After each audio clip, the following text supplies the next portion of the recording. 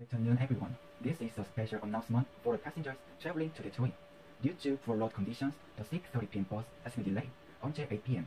The Detroit bus will depart from gate 16 at 8 p.m.